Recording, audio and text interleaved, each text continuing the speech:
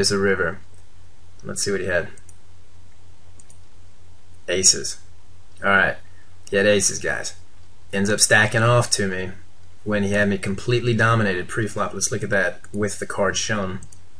This shows you the equities here. Um, I've got 18%. This guy's actually got 20, yeah, 20, 22, uh, forgive me, 80, 82% more or less. Um, not shown probably because the other player here. Let's see. And now you see the reason why you shouldn't just min raise flat. Let's say, let's say he's looking for, you know, when he min raises here, this guy flats, I re-raise, he should automatically shove, or at least at least four bet, at least four bet here, because he doesn't want this guy hanging out with any kind of pocket pair, He doesn't want me hanging out with any kind of suited connector, maybe squeeze three bet squeezing light, right? And that's again, this is this is why these reversed implied odds are so strong with these big hands, hands guys. And I would just, as a general rule, especially for those of you who are getting started, just you know raise those up in general, raise them up. If you can get it all in pre-flop, you're happy. You're going to get it in on average at 80% ahead of your opposition. Why not? He only flats, and yeah. get sucked out real hard. But if he had, okay, in this case, of course, with my kings, I'm, I'm playing for stacks anyways, but I'm not going to have this hand a lot.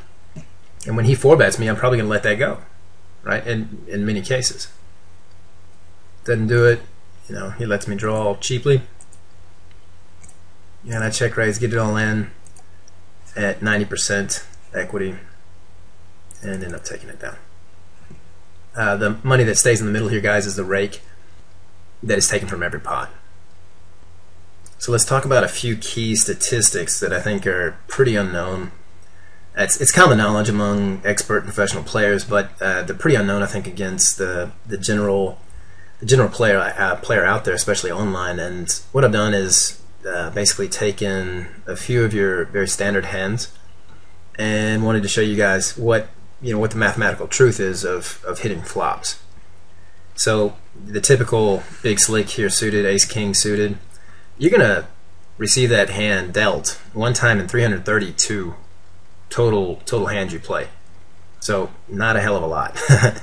now the odds of flopping um, either an ace or a king, or let's say at least an ace or a king, is only 32.4%, more or less one time in three. So that means both you and your opposition if they're if they're on non-pocket pairs, will miss that flop two times in three. Right, 66% of the time. Realize that. Play with that. that. That's the power also of the C bet.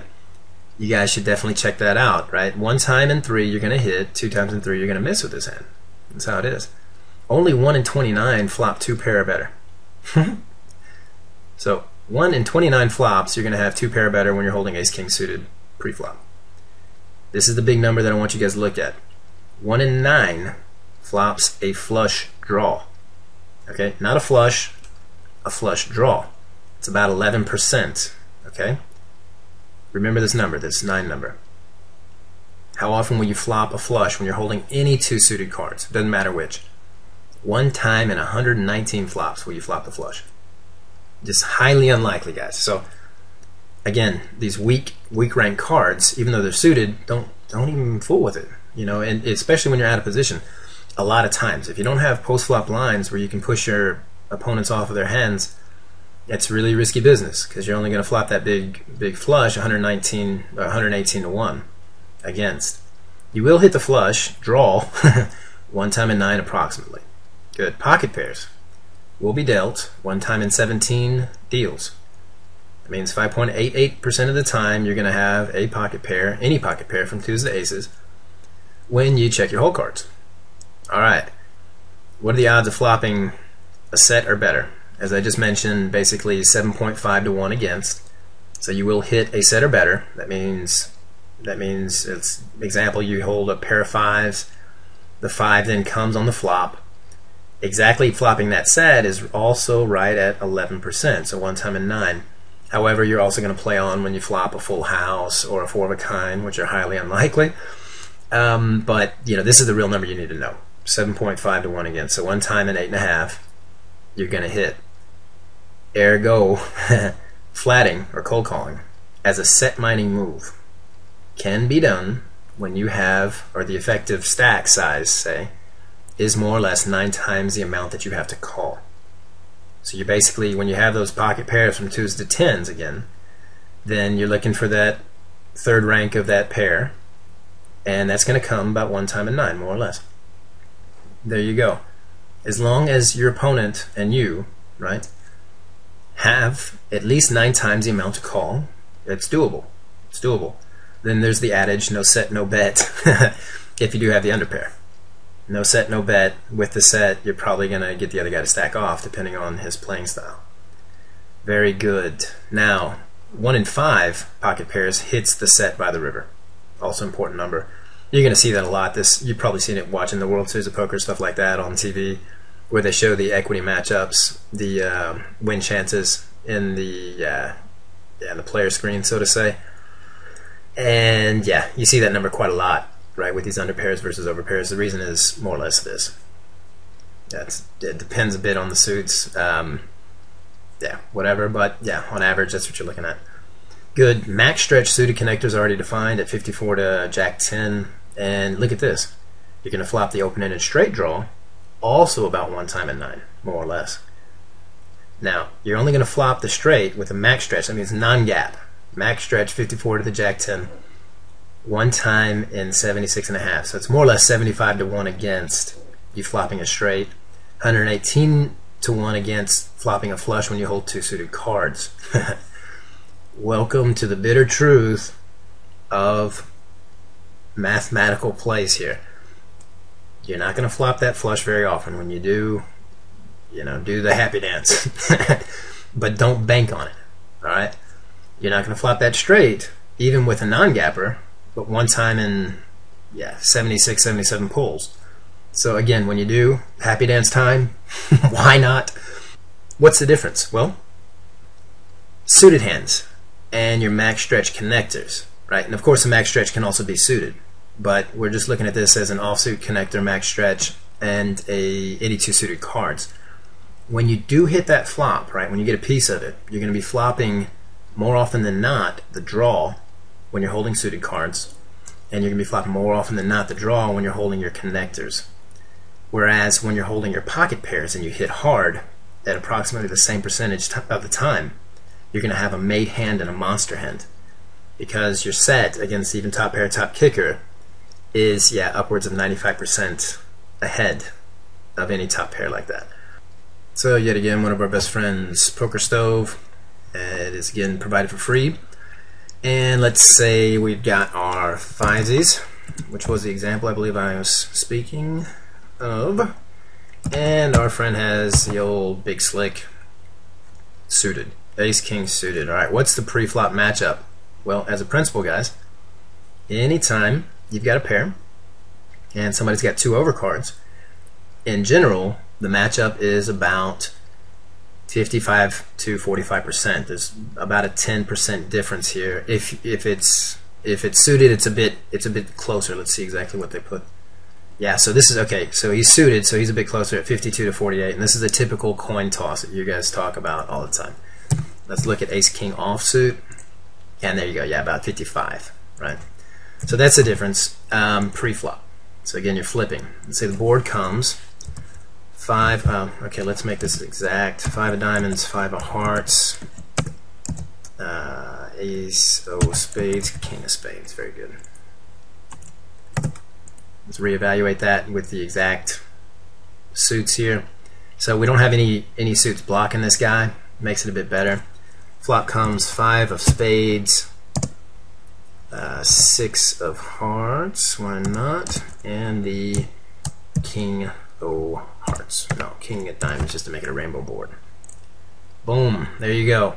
This guy flops exactly what he's looking for. He's got top pair, top kicker on a rainbow board. He thinks he's good, right? Wrong. he has only 5.56% equity to the river versus that flop set. Pretty, pretty sick, guys. So just understand that this flop set is very, very powerful. Something else I want to show you is this. Let's let's go ahead and assume that he's also on top pair, top kicker, plus the nut flush draw. That does help quite a bit, right? Um, he's up to 30%, but let's say the next card comes and it's a King of Hearts. King of Hearts, right? So he's now tripped up. the Ace King is now tripped up on this board, and he's so he's again. This guy's probably doing the happy dance right now on the turn, right? Wow. now he's only got 16% to the river, right? Because now I'm full. Right, I've got fives full of kings, and he's still got the nut flush draw in his mind plus the yeah best set and best kicker, or best trip say. Yeah, top pair, top kicker guys. Those are the hands that you stack off with quite a lot you know, when you run into this kind of stuff, just be aware of it. It's going to happen uh, definitely in the sessions that you'll see from me in the near future. I'm sure we'll stack off more than once uh, versus sets. It, it's just part of the game. Um, remember the principle that we'll get into here shortly: big pots with big hands, small pots with small hands, and you know, top pair, top kicker is a good hand. It's not a big hand. Big hands are two pair better. I want you guys to realize that. All right, so another one here. We've got uh, fives versus a 78 suited. Let's say. Now that's a really, really close matchup, right? 78 suited versus the fives.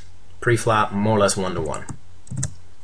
Here comes the flop, five, six, king of diamonds, two suited, which also happen to be the suits of the max stretch connector here. Okay, now my set is markedly, markedly worse than the top pair top kicker versus this guy who didn't even hit a pair. He's got an open and a straight draw for the 5, 6, 7, 8, and he's got then the full 9 clean outs for the flush, giving him 42% on the flop.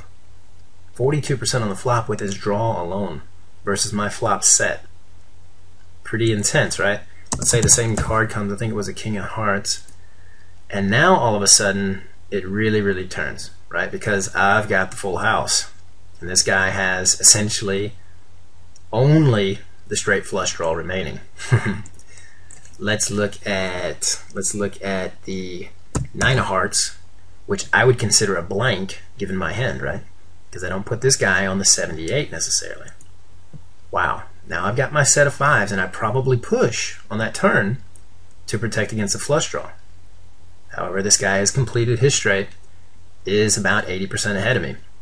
These are things you guys need to be aware of. Um, these kind of hands will be raised and re-raised, especially in 6 max play. The other thing is, too, you know, this top pair, top kicker, if you do the happy dance too soon and you see a couple of low, low cards on that flop, just at least as a bare minimum, have the set in your mind. Have, you know, the, the connecting cards in your mind have the potential flush draws in your mind and utilize all that knowledge to your advantage. And also in in many cases you want to be playing your ace kings you know when you flop that top pair top kicker for pot control. As sick as it sounds. Um, let's say yeah I mean best case scenario when you flop top pair top kicker and the nut flush draw you're still 70% behind a flop flush or flop set that's the that's the truth of it, guys. So again, top pair, top kicker. It's a good hand. It's not necessarily a big hand. Big hands are two pair or better. So concerning betting, let's keep it simple. Now, if you're taking notes, the limp is going to be indicated with a big L. Uh, flatting is going to be CC or cold calling. 3x, right? You want to three times the raise behind you. You want to three time it. That's indicated as an R and OR would then be an open raise or you're simply going to push and fold, right? Depending on depending on your pot to uh, stack ratio, depending on bet size to effective stack ratio, stuff like that. All right, something that's also not so well known out there. Uh, my experience both in yeah casinos and general house games uh, around the world is this idea of a pot raise. Okay, it is not necessarily just betting the pot amount the actual raise formula, and it's very important for you uh, pot limit Omaha or future pot limit Omaha players out there. It's the pot, it's the current pot plus two times the amount you need to call. So I've given you guys a couple of examples here. Let's say we're playing an NL 100 just to make it simple, right? So um, small blinds 50, big blinds a buck, and that's how it is. So we've got 1.5 for the blinds. All right, one is your call amount, and if you want to raise it up pot size, you're going to raise it to right the amount to The amount of the pot, 1.5 plus 2 to call, and that's 3.5 big blinds. All right, let's say you get flatted. Uh, flop comes, and the pot is now 8 bucks. All right, small blind bets it out for 6 big blinds, or $6 in our example. My pot size raise is going to be the 8 plus the 6, giving me the total pot size of 14, plus twice the amount to call for 12, i.e. 26. What does this do? Why would you want to make a pot size bet? Well, because you know exactly the odds, the pot odds that you're giving your opponent, namely 2 to 1. When your opponent's getting 2 to 1 pot odds, because of your pot size raise, then he needs, as I've written here, 33% equity if he's going to call all in. And yeah, you guys definitely need to look at um, drawing odds, completion odds for the no limit hold'em game. If you're unfamiliar with that, you can find it at Wikipedia or Wikipedia. And yeah, definitely have a look at that. But if you're on a flush draw on the flop in general, right, you're only going to hit it, um, okay, exactly at 34.97% of the time. Uh, if you're on an open-ended straight draw, right at 31.45%, etc., you know, call it more or less 32% on average for any open-ended straight draw and even uh, any flush draw. And yeah, that's going to be right at the equity needed to make that call. So that's going all in on the flop, right? And in general, you're only going to have 19%, you know, to complete your flush draw on any given card coming into either the turn or the river. And yeah, that's that's kind of the idea there, guys, with these pot pot size raises. You know exactly that your opponent's getting two to one odds, and that he needs 33% equity with any holding to break even if calling all in. Good. And again, with our keeping it simple here for betting, you know, on most dry boards, when I say a dry board, guys, in the sessions, it's going to be when there's three cards of different suits. Okay, so it's going to be a so-called rainbow board and relatively unconnected board concerning the ranks. So about half pot on those kind of dry boards and two thirds to three fourths pot on the wet boards. It means two suited, uh, connected board, stuff like that.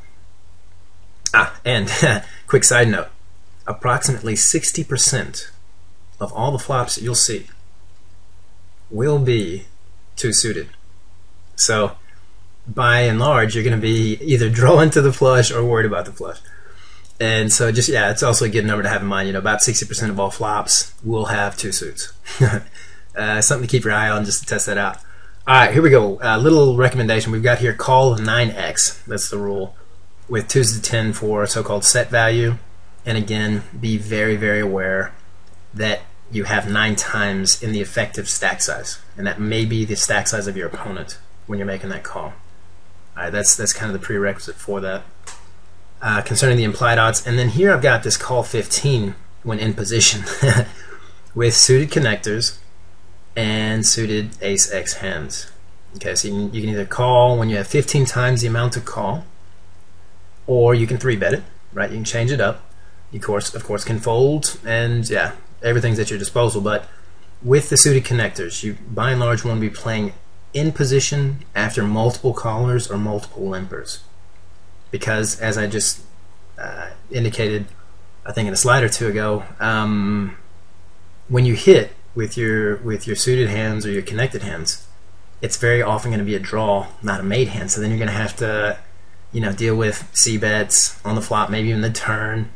And you know, if these guys are good, they're not going to give you the odds to draw. So, you know, when you're when you're calling those in position, yeah, about 15 times the amount to call should be enough to uh, get you there, yeah, EV wise in the long run, especially if your opponents are able to stack off again with top pair, top kicker, and other holdings. All right, so here we go. Betting continued. If a better raise or a call is greater than or equal to 50% of your stack, or by making that bet, raise or call, you will be pot committed on the next betting round. and this is generally when your stack is less than or equal to the pot, then you're going to push or fold directly. That's what I've coined in other videos that I've done, um, essential poker knowledge videos, uh, the golden rule of betting. All right, so it's you know of course well-known fact among experts, um, advanced players, but yeah, many new players who just just play poker for fun, um, which which may include a lot of you guys out there you know, there's nothing wrong with playing cards for fun, man, and, and enjoying it. But when you have these different rules, um, just just general principles, right? Your your game will skyrocket. And one of them here is again this golden rule of betting, and that's basically not just fooling around with little min bets and min raises and stuff like that. If you're going to make a bet, raise or call, and it's going to commit more than half your stack, you're not asking yourself, hmm, should I call this? And you know, you're saying, okay, is, is this a push or a fold spot? And that's yeah, that's pretty much how you play it. All right, again, mind the pot to the effective stack ratio. And I showed you guys in the one example hand um, where I was playing, you know, the effective stack size, not my stack size, which was a bigger deep stack. Good. And you always, again, want to put the final question to your opponents. Keep the initiative and so-called fear and fold equity on your side. Uh, another quick tip: if it's good enough for a call, it's often good enough for a raise. Again, without you know borrowing speculative hands in position after two or more numbers of cold callers. Uh, final point here: pushing or jamming. That means going all in. Okay. You'll hear me say push. You'll, you'll hear me say shove. You'll hear me say jam it uh, all means the same. It's basically just putting everything that you've got in front of you across the line, going all in, and that's going to give you the maximum amount of fold equity. And also, if you can if you can shove, and you think that, let's say for example, your opposition maybe has, yeah, maybe your opposition's a bit more skilled post flop, and you're worried about them kind of shoving you off of hands. Uh, one of the best defenses you have is actually pushing. That means you know if you can get in in pre-flop with a with a premium hand you don't have to worry about one of these guys sucking out on you, maybe maybe floating you, stuff like that, outplaying your post flop, pushing off a hand. If you can if you can shove with the uh, with the best of it, you can basically write off any skill differences that might be there, i.e., the edge that certain players have post flop, by pushing or jamming pre flop. That's also a really good tip for a lot of um, beginning and rec players and as I've been seeing here in these approximately 10,000 hands at, uh, at the Storm tables now, there are a lot of guys who buy in for that, that minimum stack size of 30 big blinds, and they're doing exactly this. Right? They're playing. Some of them are playing a really effective, I think, uh, uh mid stack strategy, and yeah, you're going to see a lot of that, a lot of that shoving going on, right? For for small mid stacks, and it's something that I want to use my uh, pot odds calculator to show you exactly how you can react to that. Uh, we'll get there, I think, in a slide or two moving right along. We've got here tips and tricks, number one, for Storm Poker and also for poker in general. The yeah, Dylan Pip principle here. That is position plus initiative equals profit.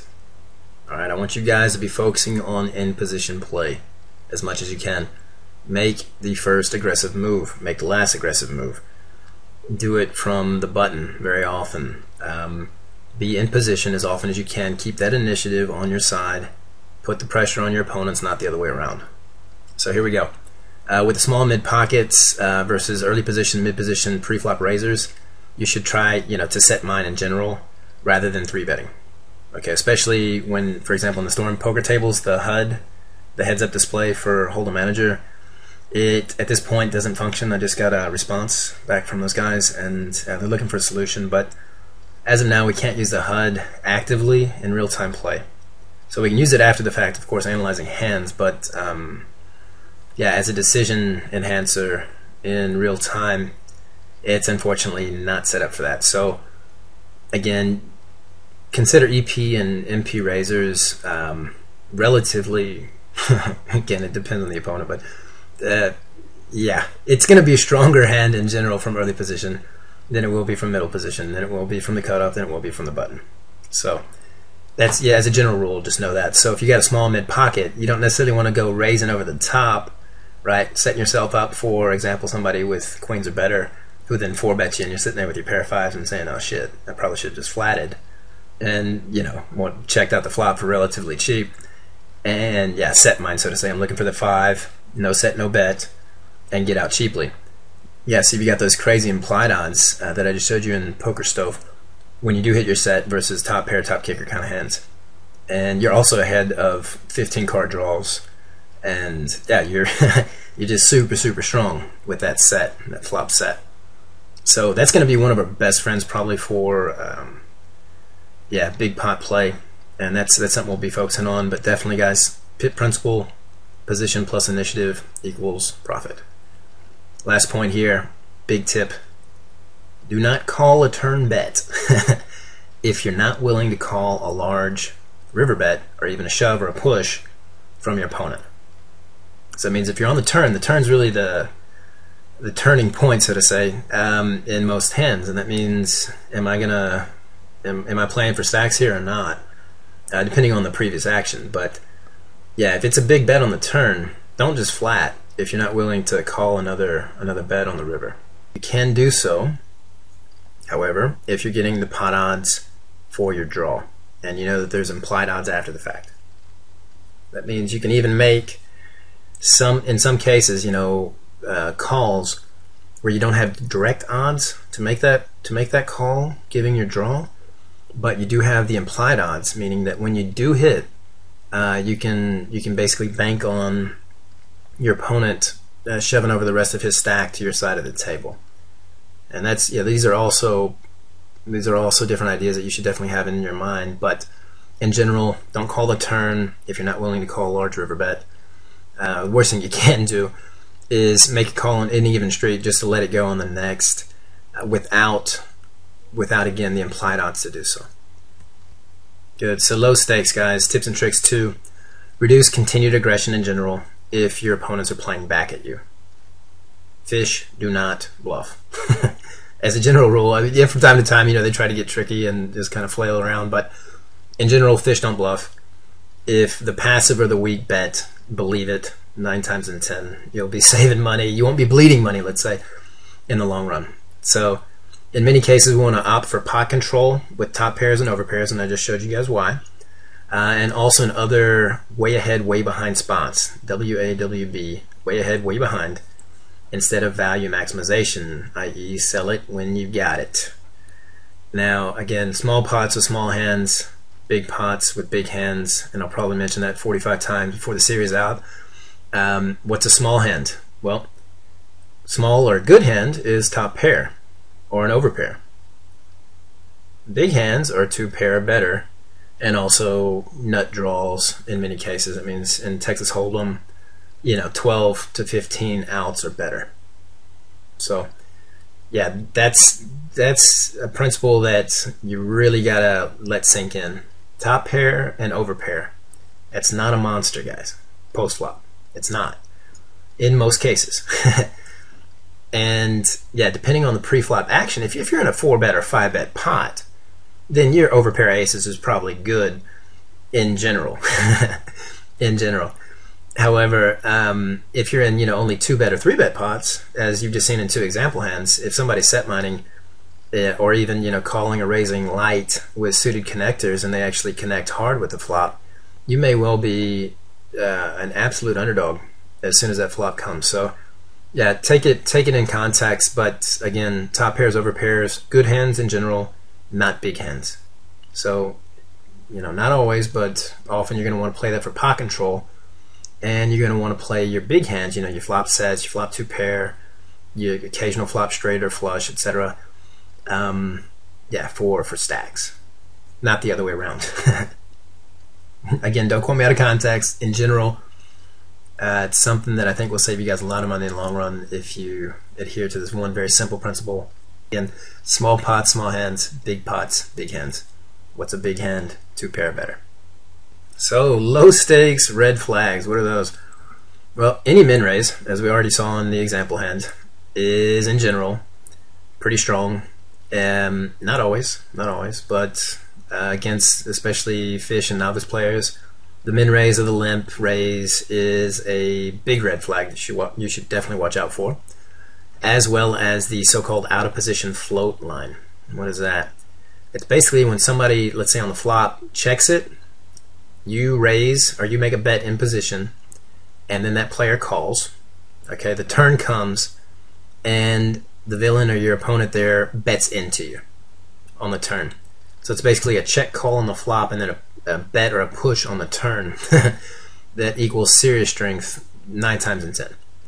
So yeah, yeah, I've kind of given you guys a couple of examples here, but in that spot, be able to fold those top pairs and over It's, it's very important. Um, you'll see me definitely not fold those top pairs and over pairs um, versus those lines, and then you guys can maybe just tally it up and see how I do over time uh, in the in the cases where I don't adhere to this rule. Right, it's a big, big red flag. Again, nine times in ten at the low stakes at least. So good. Do not semi bluff if your opponent can't fold. Take the free card versus the stations, and value bet them when you complete.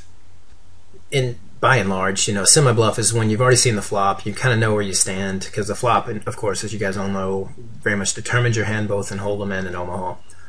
And so, yeah, you're sitting there on the flop, let's say in, in Texas Hold'em, and you've got again here the 78 suited, right? You've got the open ended straight draw and the flush draw, and you give yourself the full 15 outs.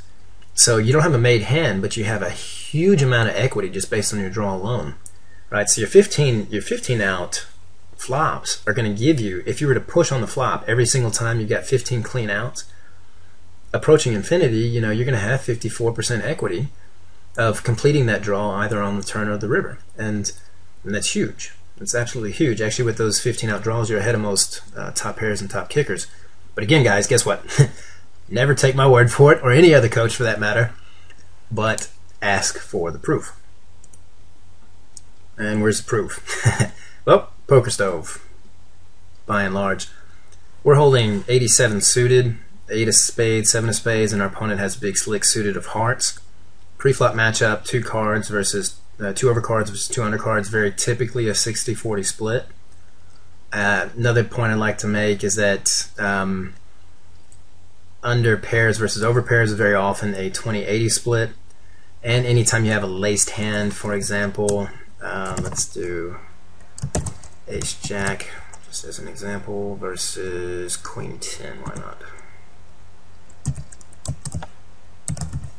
This is so-called laced hand, so ace queen jack 10 is also at about 60-40, depending on the suited suitedness, etc.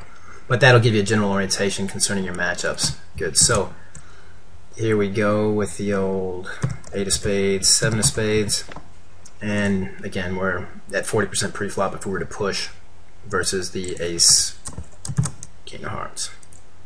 All right, flop comes five, six of our suit and the king. So he gets top pair, top kicker and we flop our 15 out flush and open-ended straight draw. Right. So what does that mean? Any four and any nine is going to make our open-ended straight draw, and any spade is going to make our flush. But we have to take out two spades. So We have to discount two outs because they're included in the straight draw out set. So again, look guys, this guy flops top pair, top kicker, and is behind us on the flop. Behind us. We don't have anything but a draw, and we're ahead of him right? 56%. I hope that's shocking for a lot of you guys. That's, you know, that's the strength of the draw, and that's where you should be getting active with those big flops. And yeah, problem is, let's say the turn comes and it's a blank, uh, 10 of hearts. What happens to our equity here? Goes straight down the toilet from 56, wouldn't it? 50, yeah, 56% to 34% inside of one card. So again, I mean, time to get active is on the flop with those big nut, not necessarily nut, but big, big draws, you know, 12 outs, 15 outs plus. Uh, another good one is maybe something that a lot of guys don't realize. So again, this is Dylan for MyBet.com, wishing you all the best and definitely best of luck at your next storm table.